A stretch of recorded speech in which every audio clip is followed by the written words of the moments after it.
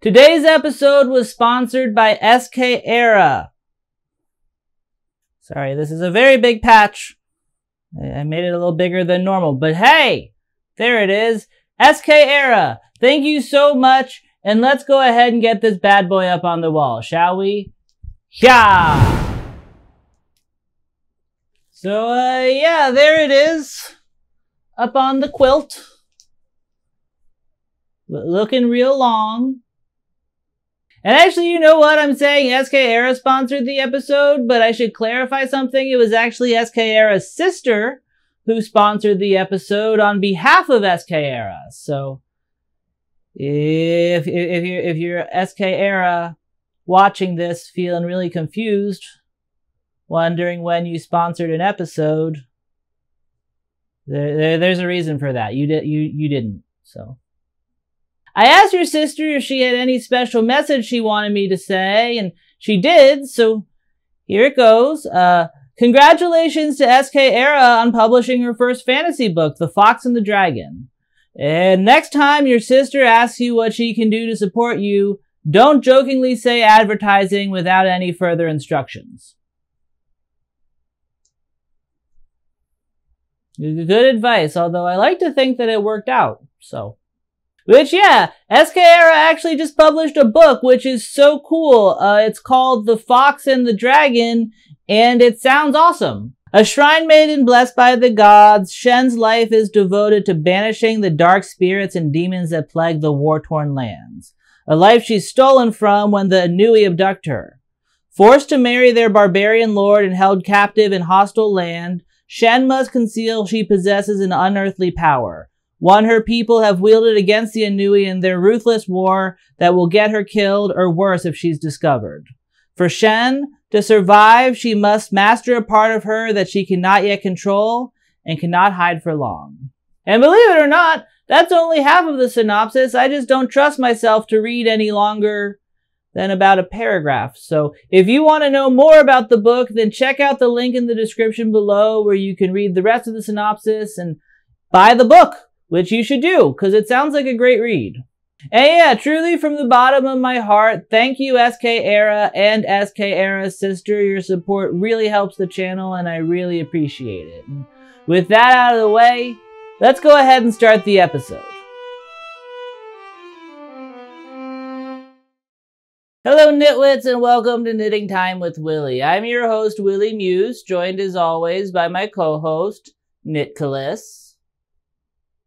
And recently, I've been watching a lot of the TV show Bones.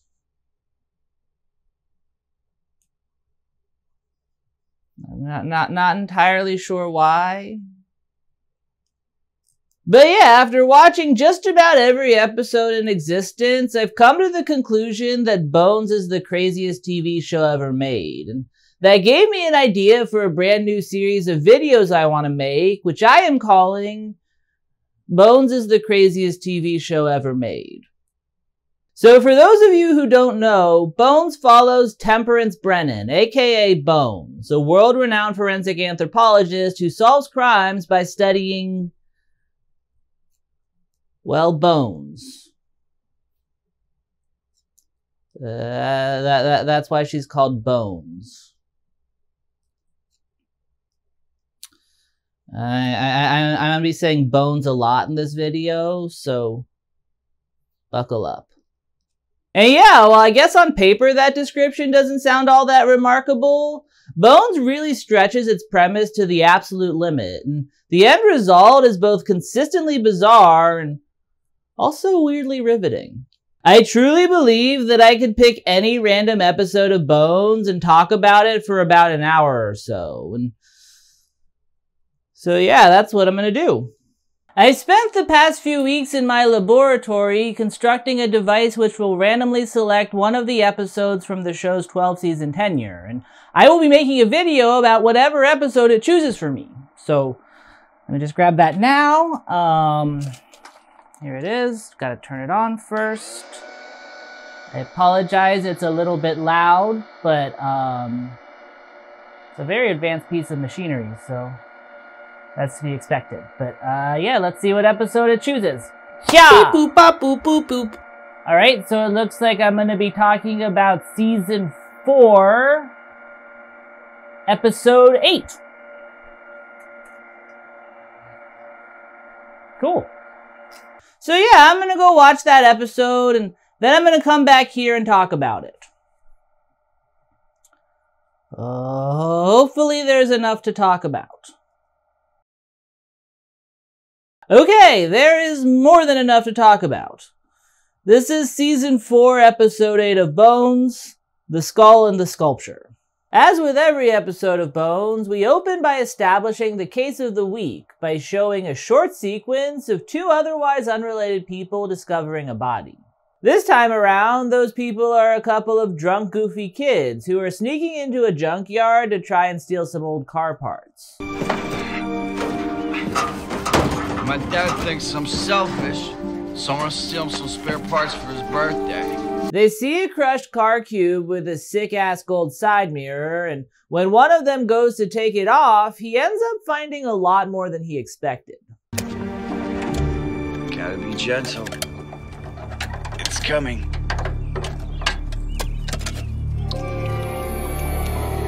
The car's bleeding. Something back there.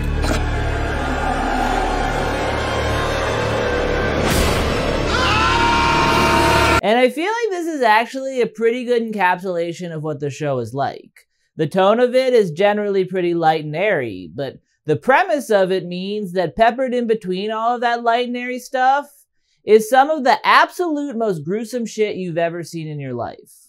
Bones is, after all, about bones. So it's not like they can just have our protagonist studying some run of the mill everyday skeleton. For bones to be worthy of bones, they need to be remarkable in some way. And so that meant that every single week, the writers had to come up with new and interesting ways to mangle a corpse. And it's actually extremely ghoulish when you stop to think about it for longer than two seconds. This week, for example, a person is crushed to death by a car crusher, which when you stop to consider the human element of what that would entail is absolutely unfathomable.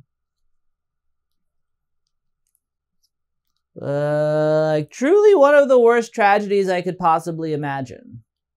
Thankfully, though, the show doesn't really consider the human element ever. It very rarely sees the maimed and rotting dead people it presents at the beginning of an episode as anything more than objects at the center of a mystery. And Honestly, I think that's probably for the best, because if they actually treated the subject matter with a modicum of the respect it deserves, they would not be able to segue so seamlessly into the next scene, which is largely played for laughs. The scene in question is a conversation between two of Bones' co-workers, and were it to happen in real life, I don't think it would technically be legal. Okay, look, just to be clear, I asked you out for a drink to talk, not because I'm desperate for male company. You just got divorced and broke up with your fiance. It's totally understandable that you don't feel like sex. I feel like sex. You know, like how you talk to your coworkers. I don't know if we ever meet the HR person in the Bones office, and that might very well be because there just isn't one. Although if there is, they are terrible at their job because all of these people should have been fired seasons ago at this point. Bones is a workplace drama, and for those to work narratively, the most important people in all of these characters' lives end up being their coworkers, which means that all sorts of lines casually end up being blurred in all sorts of inappropriate ways. Here, for example, this lady has asked a dude from work out to a bar to discuss how she'd like to get railed. I feel like sex. Oh. Sex is what I feel like. Now, I could jump Hodgins, but it doesn't seem fair somehow. Do you agree? Hodgins, for those curious, is also their coworker. He's also that woman's ex-fiance. So.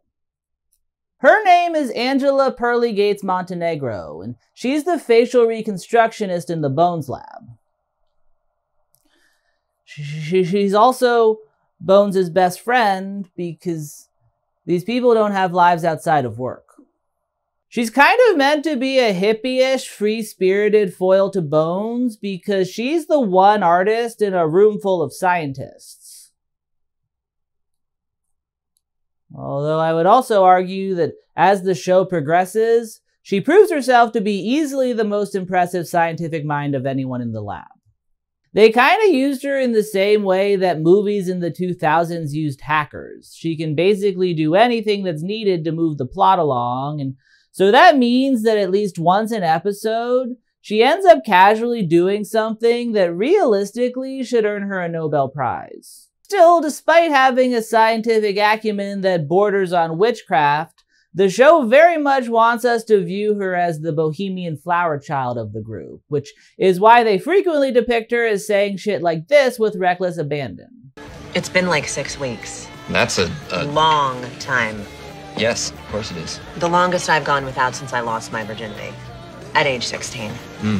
Which is the normal age. Sometimes older's just fine too. And listening to that string of words that just left her mouth, it might be easy for you to assume that Angela is the more inappropriate one in this situation, but I would honestly argue that the guy she's talking to is crossing way more lines right now than she is. His name is Lance Sweets, and I'm not sure, but I think he might be one of the more ethically ambiguous characters of any show that I've ever seen. Like everyone else on Bones, he maintains some very inappropriate relationships with his coworkers, but where he takes things a little bit further is that he's also a therapist to many of them.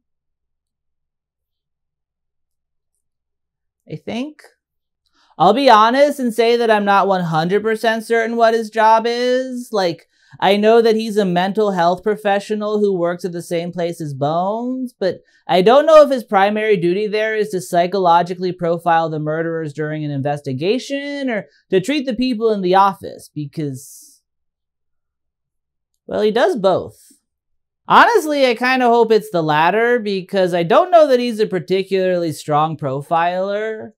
He uses a lot of pop science that even I, as a person whose knowledge of psychology begins and ends with watching old episodes of Frasier, know is not particularly valid. Like, he'll come into a case and say shit like, you know, Freud would argue that the gun represents his penis, and in killing this woman, he may have been redirecting Oedipal rage he meant for his mother, and it's like, okay, I guess maybe that's a fun tidbit to share at a dinner party, but I don't know. I'm not entirely sure how useful it is in this murder investigation. Still, if his main job is to provide therapy to his coworkers, then I'd say he's not really doing such a great job at that either, because he does not seem to have any sort of boundaries in place. Like, I can't say for sure everyone who's been his patient over the course of the series, but one person he's for sure treated as Bones herself, and at one point he just straight up lives in her house, which yeah, I'm pretty sure a therapist isn't supposed to do that.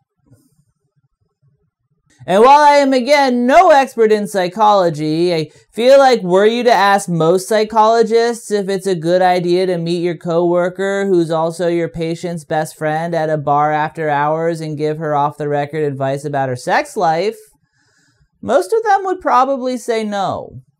That said, though, this is Bones, so Sweets does it anyway, and it eventually leads to Angela deciding that she needs to get back out there after ending her engagement, which outside of the murder mystery is sort of the main storyline of this episode.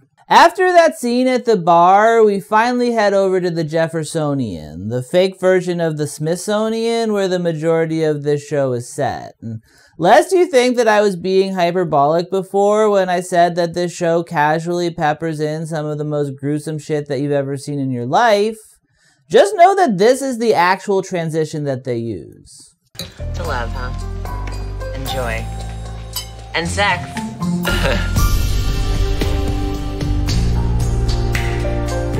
Standing around that gloopy pile of human remains is more of this show's colorful cast of characters, and like, I could probably rant for the length of an episode about every last one of them, but I'm going to hold off on doing that for now and instead just give you the SparkNotes version. So from right to left, you have Angela, who I've already talked about, and then next to her is Hodgins, Angela's ex-fiance, who she mentioned in the last scene. He's like a bug expert, I guess.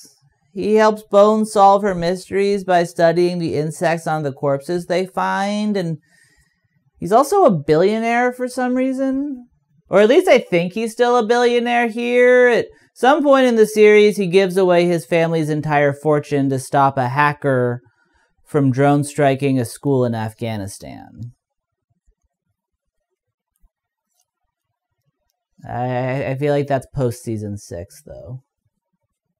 Like I said earlier, Angela and Hodgins have an on again, off again relationship which is currently off. And like I also said earlier, a lot of this episode focuses on Angela trying to move on. Hey, have you been seeing anybody? So I, I don't want to be rude, but I just don't think that's any of your business. I haven't, Me either. but I'm gonna start. Right, yeah, me too. I mean, like, right away. Okay, if all that happened in this scene was that she told her ex fiance that she was planning on dating again at their shared place of business in front of all of their coworkers, that would already be one of the most inappropriate things that I've ever seen in my life. But the fact that she also does it in the same room as the rotting corpse of a murder victim makes it infinitely worse. Next to Hodgins, you have Daisy, who is one of the lab's many interns. From seasons 1 to 3, Bones had an assistant named Zach, but then it turned out that he was secretly a serial killer's apprentice, so he went to jail and was then replaced by a rotating roster of supporting characters. And this is actually a pretty fun gimmick that the show has. Each intern only pops up every few episodes, and they each have a fun little quirk that gives them their own unique identity. You have Clark, who's a know-it-all, Colin, who's creepy, and Vincent Nigel Murray, who's British and really into trivia for some reason. And then, of course, you have Daisy, and her thing is kinda just that everyone hates her. Uh, like everyone in the lab openly talks shit about her to her face in a way that feels kinda harsh to me sometimes. It seems that any viable examination pre extraction is impossible unless somebody has x ray vision. I meant to warn you that Miss Wick came up in the rotation. And it's weird too, because I feel like she's not even that bad as far as the interns are concerned. I mean, she's obviously not the best, that's Wendell, but she's definitely not the worst either. I would say that objectively, British Trivia Dude is way more annoying than Daisy, but for whatever reason, the people in the lab don't feel the same. I guess just because he gets murdered by a sniper in season 6, that gives him a free pass. But yeah, Daisy's coworkers do not like her, and they treat her with a level of disdain that, like a lot of things on this show, feels like a very clear HR violation. Next to Daisy is Dr. Camille Saroyan, and she is also there. I don't know, I like the character, but I honestly just don't have a lot to say about her. She's the person in charge of the lab, and her thing is basically just that she follows the rules, which. Yeah, not super interesting. Though I will give her this, considering how frequently her employees break said rules, it does lead to a lot of drama over the course of the series. Also, she's probably the only main character who never commits a felony, so she's got that going for her. And finally, next to Dr. Saroyan is the titular Bones. She's obviously the star of the show, and if you were to ask me to describe her in one word, I'd either go with badass or autistic, because I feel like those are probably her two most defining characteristics. And like, before anyone goes getting mad at me in the comments, please know that normally I wouldn't diagnose a character like that because, well, as previously stated, I'm not an expert in psychology, but I feel like if anyone should understand assuming that the people and the things they watch are autistic, it's those of you who like my videos, so I figured that in this instance it would be okay. Also, in my defense, she definitely is. It feels pretty undeniable. Although that said, I'm not entirely sure that the people writing this show know that she is, so that adds an interesting layer to everything.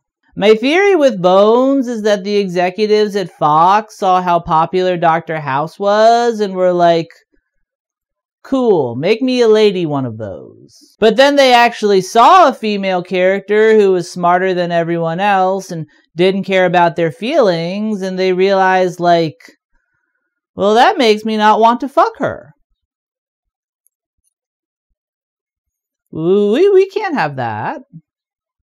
So then the writers tweaked her a little bit to make her house like, but in a way that was more becoming of a girl. And then after a few rounds of tweaking, they ended up just accidentally inventing autism. I feel like there's also a chance that what they were going for here was adorkable. Like, she is, after all, played by Zooey Deschanel's sister Emily, so I think that Bones may have been like a gritty take on a manic pixie dream girl, but well, if that is what they were going for, then like all manic pixie dream girls, the end result is just a character who's neurodivergent. And honestly, I think that might be kind of cool. Like, I hesitate to say this given that I'm talking about a show from 2005, but I think that Bones might actually be an example of pretty good representation. Like I said earlier, she's kind of a badass. She's a world famous scientist, a best selling novelist, and she's easily the smartest person in every room that she's in. She's definitely treated as different, but in a way where that's just who she is. Her differences are never presented as a bad thing, and Actually, it's mostly because of them that she's as awesome as she is. In a lesser series, I feel like there probably would have been an episode where Bones breaks down over her inability to connect to people around her, but as far as I know, that never happens here. And like again, that may very well be because the people writing this just don't actually realize that she's autistic, but whatever, it makes for a better show regardless. And yeah, that's everyone in the scene. Outside of them, the only person you really need to know is Bones' partner and future husband, Seeley Booth. Because even though the show is named after her, I feel like he's as much of a protagonist as Bones is. And Booth is kind of just like, like a good old boy, you know? He's an FBI agent and he's smart, but he's a more grounded, down to earth kind of smart than Bones is. So the two of them view situations they're in very differently and they end up having a good chemistry because of it. And like, don't get me wrong, I like Booth, but whenever he's on screen, I can never shake the feeling that if he existed in real life, I would absolutely hate his guts. He's a deeply Catholic ex-military cop, so while the show does a really good job at making him cool and relatable, I can't really imagine anyone who I personally would relate to less. Which is not to say that I could never be friends with a deeply Catholic ex-military cop, but I do feel like I know the sort of person they're going for here, and Booth is a very glossy Hollywood version of what that person actually entails. Uh, like what we see on the show is charming, but I feel like if there were a world where I could actually have a conversation with the guy, it wouldn't take long before that conversation turned into him ranting about cancel culture. If that makes sense. Booth calls Bones with a lead on where the car with the body in it originated from, and so Bones goes to meet him there. For reasons. She, she, she doesn't really have any field training, and nothing she does requires her to be on the scene immediately, but whatever. I guess they just enjoy spending time together. Invoice was made out to B&B Enterprises. This was the sixth car that was crushed and sent back to this address. Oh, so you think there might be five more bodies? Well, you know what? If this is mob related and we bring down the big boys, we will sell the movie rights for a fortune. But what if it's not the mob? Come on, do the math, Bones. Well, the math wouldn't indicate motive or identify suspect, and you haven't even provided enough variables. Figure of speech, Bones, all right? And yeah, that right there is basically what 90% of this series is. Booth says something, Bones takes it too literally and doesn't understand it, and then Booth explains it to her. And like, you'd think that they wouldn't be able to make that work for 12 seasons, but somehow they do. They get to the door of the building where the cars were being sent, and when they find out that it's locked, they promptly head to a judge to get a search warrant.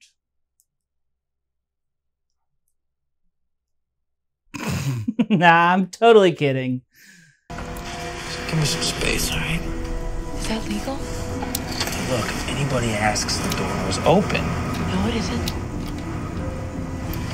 Ah, right. Man, I miss the days when I could look at a cop breaking and entering and still think, yeah, I'm rooting for that guy.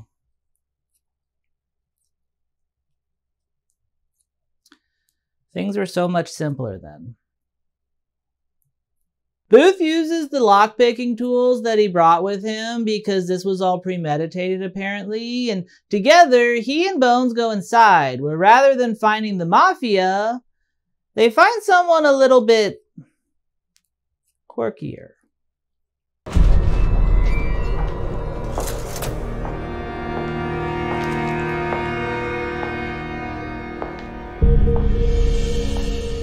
Okay, what the hell are you supposed to be? Okay, I get that you think that she's a murderer, but that is still a very rude way to greet someone.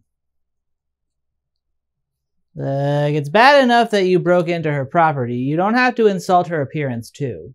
And yeah, after the kimono lady enters, the credits roll. And this marks the moment that happens in almost every episode of Bones, where the plot does a major heel turn. The mysteries on this show very rarely end up anywhere near where they started out. Here, for example, we began in a junkyard, so we were led to believe that we'd be dealing with some blue collar car based mystery, but as it turns out, no. This is an episode all about the art world.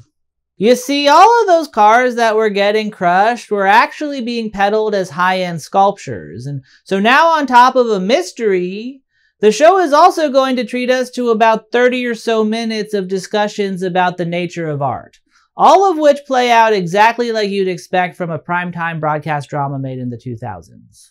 Like, even if you've never seen an episode of this show, I feel like based solely on my short description of him, you could probably guess Booth's exact reaction to finding out that old cars were being sold as art. All cultures put a great value on art. Yeah, art. A nice bowl of fruit, uh, dogs playing poker. If I sold all the crap that was in my garage, It's hard to explain. I could retire. I'd make a fortune. Still, while nothing that's said here is too groundbreaking, that's also not really the point of the show. Frankly, if you're coming to Bones looking for a deep philosophical treatise on the nature of art, then you're a weird person. This show is all about the mystery, and centering this episode around art does actually make things a lot more interesting in that regard. I've already called my lawyer. It's great. Tell him to meet you down at the FBI offices. Oh, I didn't call him for me. You see how much these works are worth. You are liable for any damages. And this is made even more complicated by the fact that the stuff around the murder might not be the only thing in this situation that belongs in a gallery. The murder itself might just be art as well. Uh, recently, Jeffrey's been talking about finding a way to make himself part of the art. Do you mean literally? The ultimate artistic act. Now, I'm no expert here, but learning that the artist whose sculpture has a mysterious body crush inside it used to talk about crushing his body inside one of his sculptures feels like a pretty big lead in the case. Now, not everyone feels the same way as I do, though, apparently. Do you think Jeffrey might have actually done it? No, that was all just depressed artist talk, Roxy. You should know that. You're a depressed artist yourself. Does she think that depressed artist talk never leads to anything worse? You'd think that a professional curator would have a better grasp on art history than that. Also, make a note of that woman whose face Kimono Lady is sensually caressing right now. She's the car artist's assistant Roxy, and she'll become important later. Although probably not for the reasons you're expecting. We leave the art gallery and head back to the Jeffersonian, where Hodgins is on his way to tear into the crushed car sculpture so that Bones can better examine the skeleton inside it. That was a weird sentence. You know what this is? Jaws of life. 23,000 pounds per square inch of raw prying power. You really want to be the one to use that, don't you? It's not display sexual frustration. Jesus Christ, dude, that's your boss. This is a place of business. Unfortunately for Hodgins, before he can take out his sexual frustration on that sculpture slash murder scene, he's stopped by this lady. Sorry, Cherie. Apparently, this is an historic piece of art. It's a hard car shell with a gooey corpse filling. I've already collected textile tissue and bone samples. That was before I got here. Here on in, this is an historic piece of art. These fine people persuaded a judge of that and got a temporary injunction. She's kind of like Bones' Gunther, you know? Like, not quite the main cast, but still definitely the most important second stringer on the show. Her job is to tell the Bones team what they can and can't do, and her thing is that she calls everyone Cherie. Not sure if they ever explain why she does that, but it's a fun detail nonetheless. She's appeared in literally every season, and if she has a name, I certainly never bothered to learn it because it super doesn't matter. That said, she's without question my favorite character on the show. She tells the Bones team that Kimono Lady has gotten a temporary injunction to prevent them from doing any damage to the sculpture, so that means that until they can work things out with the judge, they can't really investigate any further. Or at least not legally. Obviously, this is Bones, so they ignore the law by dumping a bunch of bugs onto the body.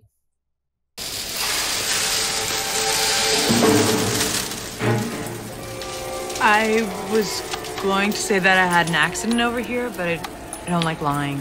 I'm not entirely sure how that helps out their investigation, though. I'm also not sure why Bones has easy access to a gigantic jar of beetles.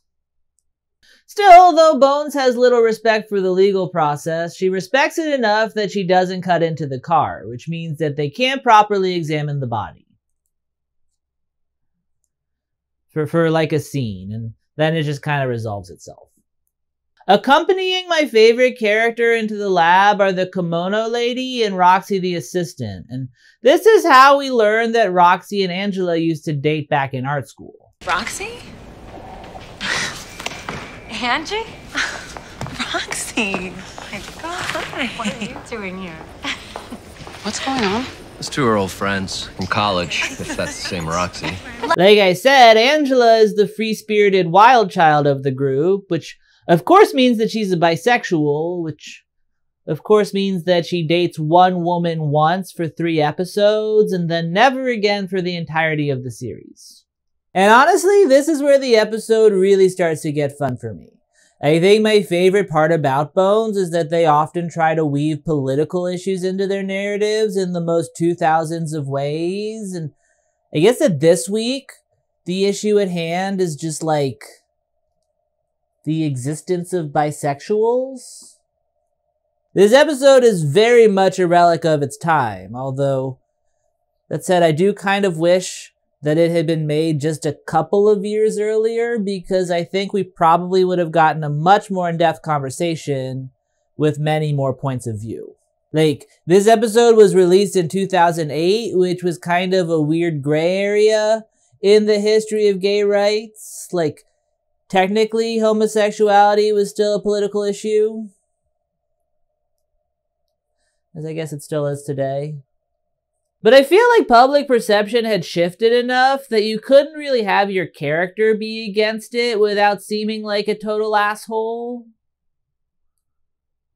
Uh, like, I think maybe you could have had someone say that marriage is between a man and a woman at this point and still be likable, but even then, only if they were very religious and only if they eventually came around. That said, though, things still weren't so far along that you could have just accepted it as a given that these characters that you liked and spent a lot of time with weren't homophobic jerks. Everyone here is very cool with Angela coming out as bi, but there is still also this weird undercurrent where it's cool that they're cool with it. If that makes sense. This all kind of comes to a head when Angela asks Booth his feelings on her past relationship because, well, if there were going to be a homophobic in this group, it would definitely be Booth. So does it freak you out? What? You know, that Roxy and I were a couple. You know, I don't know if asking if it freaks him out is really the right question there because well, even if this was a less enlightened time, I don't know that there has ever been a straight man in history who was truly freaked out at the idea of two gorgeous women being together sexually. Still, to Booth's credit, he is very accepting.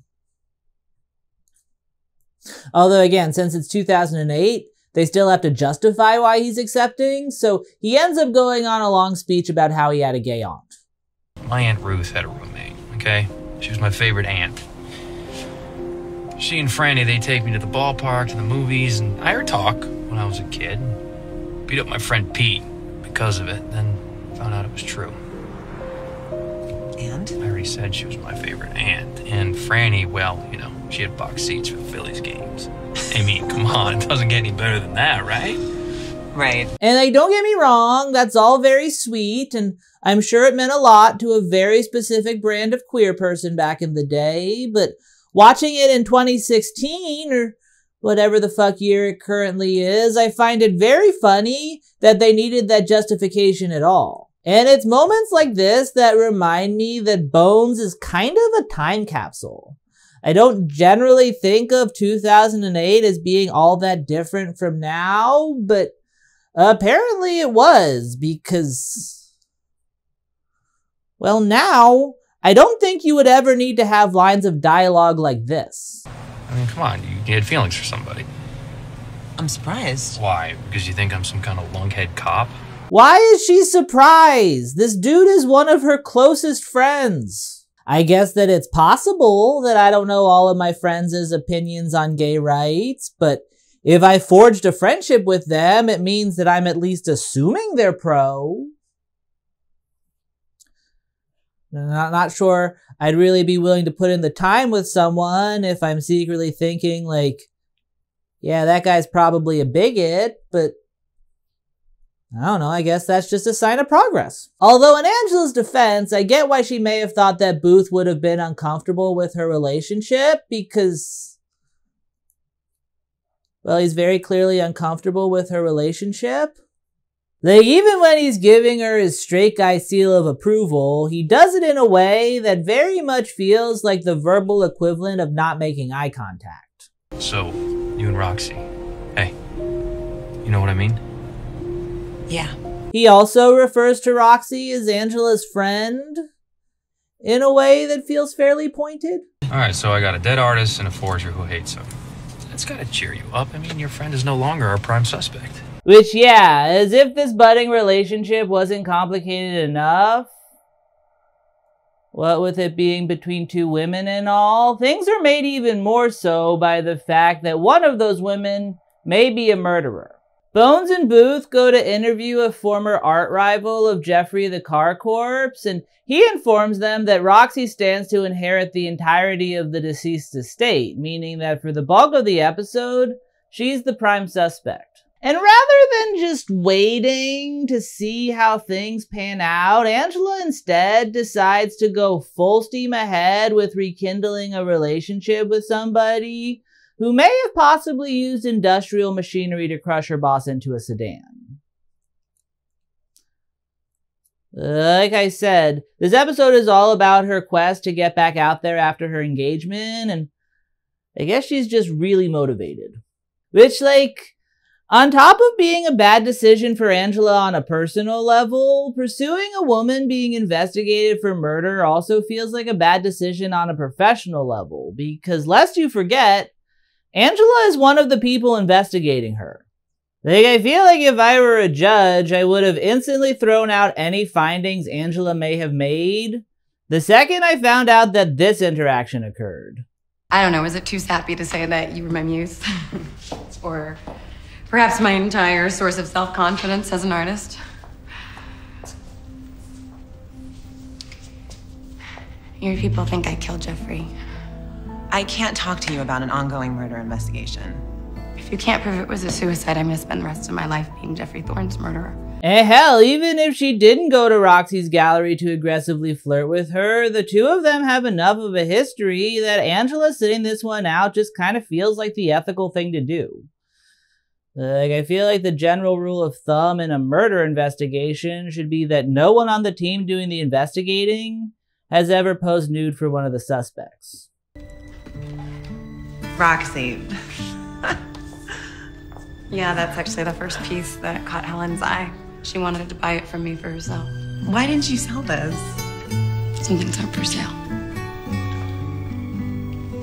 Of course, not to repeat myself, but this is Bones, where professional ethics go to die. So Angela spends the entire show trying to think of ways to clear her once and future lover, and it's actually while she's staring at that portrait that she figures out a way to do so.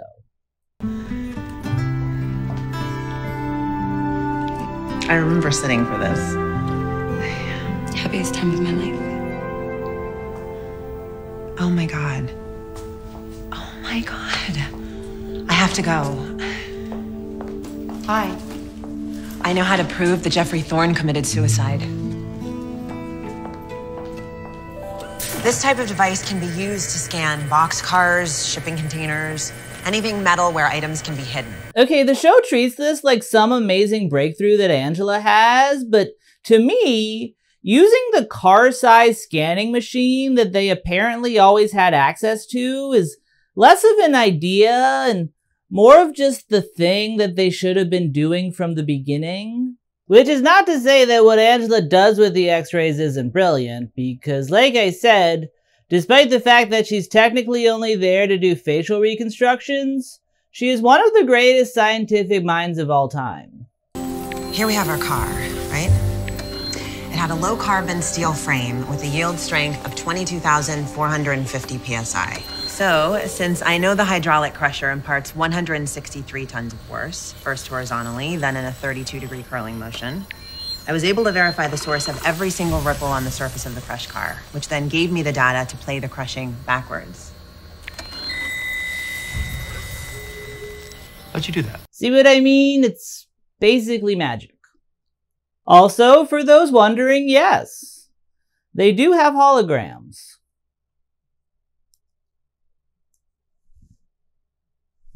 Unfortunately for Angela, though she performed that witchcraft to prove that the artist did this to himself and try to clear Roxy's name, she actually ends up proving that this was all a murder by revealing an unaccounted for wound in the back of the skull.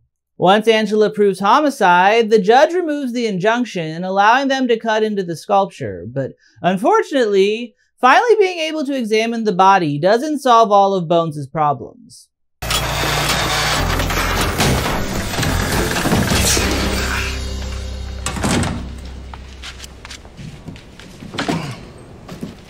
Careful. Okay. Now, what we want to do here is remove the skull very carefully. Carefully. And this all leads to the C story of the episode, which is. Well, it's basically just about the fact that everyone hates Daisy. Throughout the entire episode, the show does everything it can to portray her as unbearably annoying, even though the bulk of what she does is basically just stuff like this. This type of device can be used to scan boxcars, shipping containers, anything metal where items can be hidden. Amazing it is, this machine you have. Star Wars? Use doesn't excuse everything, Miss Wick. Burn her? And like, look, I'll admit that her crushing that skull isn't great, but I feel like it's more not great because she destroyed human remains. So it's weird to me that the show portrays it as more like irksome. I'm so sorry. I'll put it together. I will stay up all night. I'll do it. Well, I will assist you every step of the way. I will not leave your side. I would prefer to do it alone. Eventually, Daisy's annoyingness becomes a big enough issue that Saroyan goes to Sweets to ask him for advice. Thank you so much for seeing me. I didn't agree to see you. How come none of you people ever book an appointment? Frankly, it's annoying. And like again, I really feel like he shouldn't be treating these people because they are his direct coworkers. It, it really feels like it violates all sorts of ethical standards. And even if I'm wrong and coworker on coworker therapy is a thing, then I feel like they still shouldn't be talking about the sort of shit that Sweets and Saroyan talk about here. It's Daisy Wick.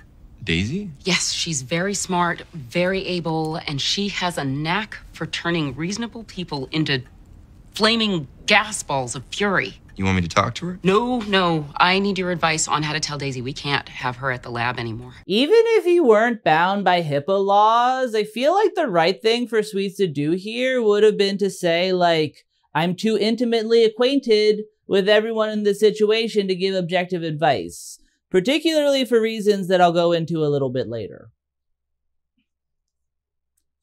Instead, he does this. I'll do it.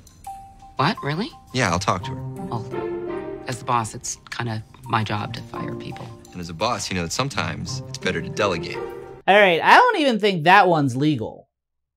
He has absolutely no authority over Daisy in any way.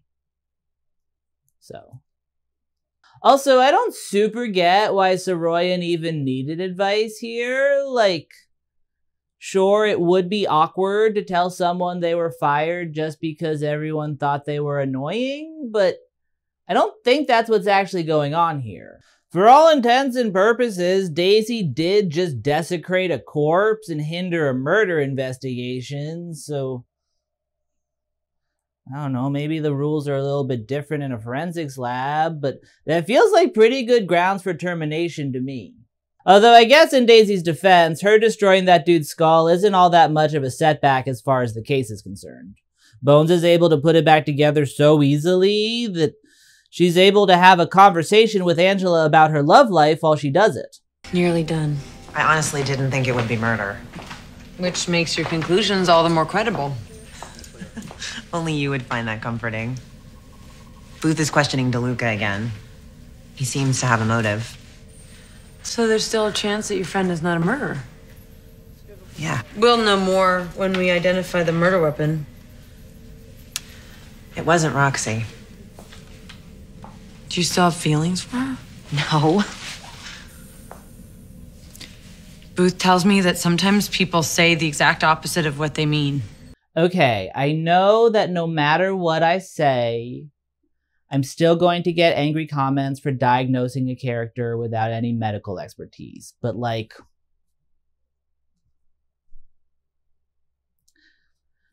I truly would not have said anything unless I was absolutely sure. Also, why is she still putting it back together? I mean, I guess maybe it's just a respect thing because that was someone's head once, but you can very clearly see that the wound that Bones wants to investigate has already been reconstructed. So I don't know why she waits until this one final piece in order to solve the case. On the bright side, she did kill Jeffrey Thorne. You won't have to think about any of that. Thanks, Brennan. How long is it going to take you to identify the weapon? I can do it right now. I've seen this injury many times. I'm almost certain that the death blow came from a common fire axe. Once she identifies cause of death, it's not long before Bones figures out that the murderer was Kimono Lady, which, well, in hindsight, feels pretty obvious. Sir, look at this. Is that my fire axe? Yes. Kimono Lady is arrested, Roxy is cleared, and she and Angela get together for what I imagine was Sweeps Week. And yeah, that's pretty much the episode. Outside of that, the only other thing that happens is that Sweets fires Daisy. Although that kind of makes it sound like it's a small thing, when in reality, it may very well be the craziest thing that happens this week. The entire Bones team gathers around to watch like they're at the Coliseum, which right off the bat feels like bad decorum for a firing situation, but then Sweets goes up to Daisy and does this. I've got some good news and some bad news. Which would you like first? The bad news. You're toast here. Nobody wants to work with you. Why? You know why, Daisy. There's some things that you have to work on when it comes to interpersonal relations. Does anybody like me? No, I'm afraid not. What's the good news? There's absolutely no reason for us to be discreet about a relationship anymore. That's right, Sweets and Daisy are dating. They've been keeping it a secret because I guess that this is the one time that anyone in this office has decided to show any amount of discretion, but now that she's fired, they're free to be together. And the more I think about this, the more about it I have to say, because, like, there's a lot to unpack here. First and foremost, if Sweets really does like Daisy, then couldn't he have softened that blow a little bit more than he did? Like, not gonna lie, if I was dating a person and they expected me to assume that the reason I was being fired is because I'm so annoying, I probably wouldn't want to keep dating that person much longer. Secondly, if you were concerned enough about dating your coworker that you kept the relationship a secret, then I'm not sure that firing that coworker to preserve the relationship is really the way to go because I don't know. That feels like the way bigger HR violation to me. Also, bold of Sweets to assume that them getting to be together openly would make up for the fact that she's being fired. Because, like, this is a highly specialized internship at an extremely prestigious institution. She may have wanted to choose her career over you, dude. Especially because I don't really know how long this relationship can last. They're not really starting out with the healthiest of dynamics. Really? Yeah, why'd you ask me that? Because I thought we were being discreet because you're a little bit ashamed of me. You'd think that as a mental health professional, Sweets would know that someone who is willing to date a person they thought was too ashamed of them to be public about their relationship probably needs to work on themselves a little bit first, but whatever. I think that this is supposed to be a happy ending. So they kiss by the corpse inspecting table and all their coworkers watch them and yeah, that's Bones. And that's also the video. So thank you guys so much for watching. Please like and subscribe and share and comment and share again because that really helps. I don't know, maybe there's like a Bones Reddit that would enjoy this or maybe not. They're probably they're probably like, this guy doesn't know bones. I don't know. Um, and if you can, please subscribe to my Patreon because that really helps out. But uh, yeah, that's it. Thanks for watching. Bones.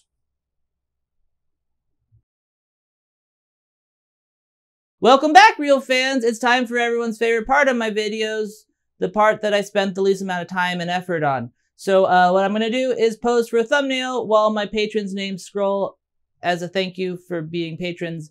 And um, yeah, for this one, I think I'm probably going to focus on the bisexuality. I think I'm going to say, call it like the time Bones tackled bisexuality because I feel like knowing the internet, that's going to get the most um, attention.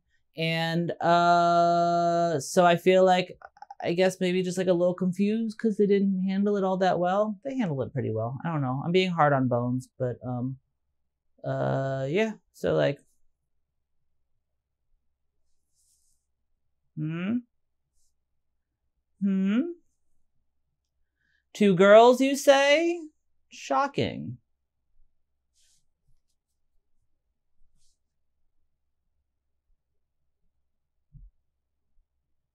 Bones?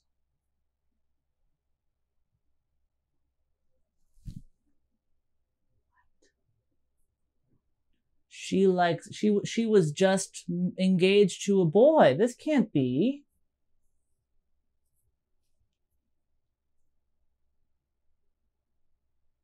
I don't know why I'm reacting to bisexuality. I feel like in the thumbnail I will be reacting to bones. Um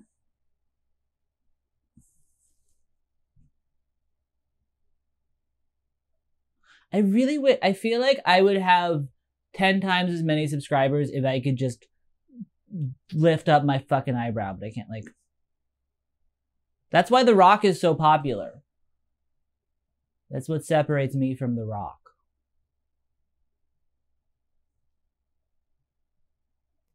Bones, you say?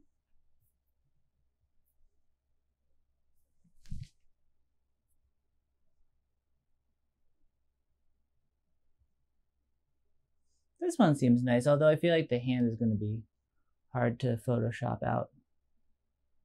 I have a green screen. I don't know why I don't pose in front of my green screen. It's like right, right here. I, I, I set it up so that it, it's it's not behind where I sit, which is really stupid in hindsight. But um, should probably use that more. Whatever. Bones.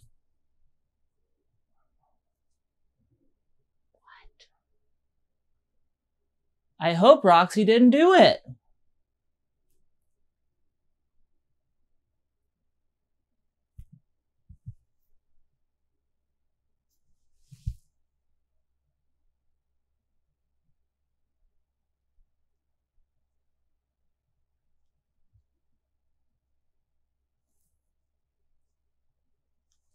And then just like, because it's two girls kissing.